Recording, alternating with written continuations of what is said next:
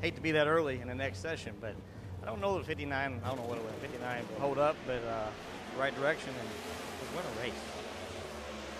Remember, reaction time does not factor in to elapsed time. So Greg Anderson can sit on the starting line for a second if he wants to, and then go to the top. 6.5, 6, 5, 211.26. Now the red Summit Chevrolet is number one.